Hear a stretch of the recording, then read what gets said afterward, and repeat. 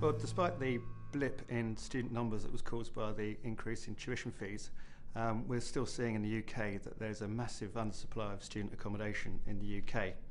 Um, and in the foreseeable future, that doesn't seem to be um, rectified. And so we're, we're seeing a, a, a, couple of interesting themes at the moment. One, um, local authorities, particularly in London, are looking to try and increase um, social housing elements into um, planning permissions, which is just not helpful at all for student accommodation. And the second theme is very much in terms of um, new entrants into the market being able to get funding um, to develop and invest in student accommodation. Um, and we feel that um, on the horizon, the changes to the REIT rules um, should enable a lot more entrants to come into the market and be able to invest in the student accommodation.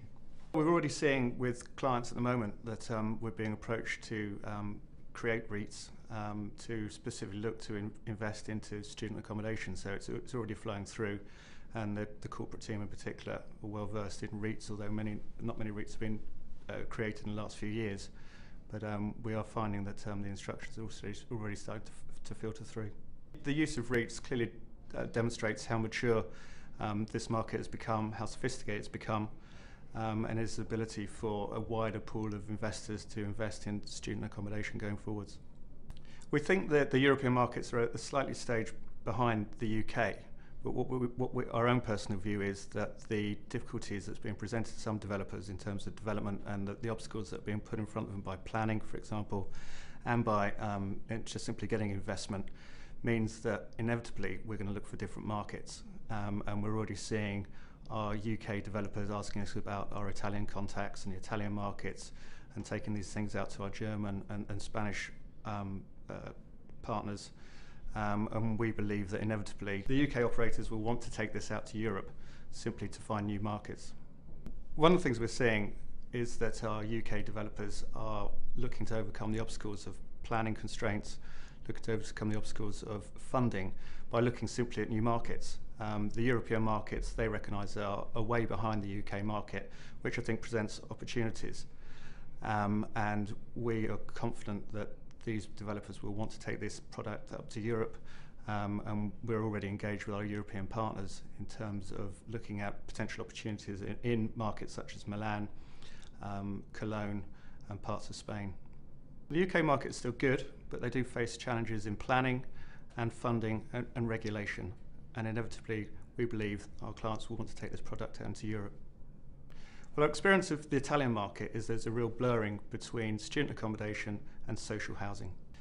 In Italy, they need to adopt a similar situation as we have in the UK. So they build specific student accommodation designed purely for students, which will free up the space for social housing. We've already started engaging with our Italian colleagues and taken across um, UK clients because we believe that our UK clients can bring to bear their experience to create these new developments. There certainly will be cultural issues that will come to bear, and that's where there's almost an education part for our UK um, developer clients. We've taken clients over to our Cologne office and, and hosted a roundtable discussion um, where we brought together um, developers, investors from the local German market um, and just allowed our clients to explain how it's done in the UK and perhaps pass on some of that knowledge and experience to the Europeans. It's really positive because from Cologne we moved on to um, our other European offices and we had a following when we came to Milan of, of people that have been to our German discussions um, and we picked up interest from, from the Dutch and the French.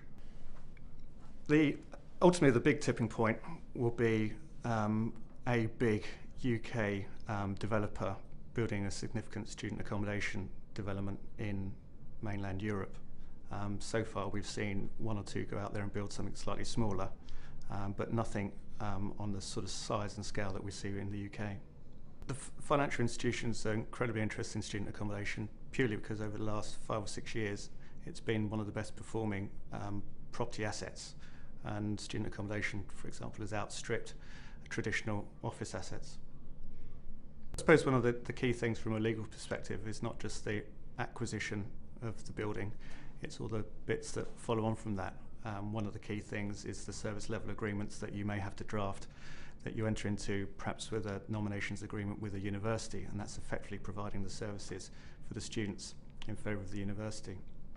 It's one of the advantages of having a full service law firm. So while there's property lawyers, we also have to have commercial lawyers looking at the service level agreements and the nomination agreements with the universities.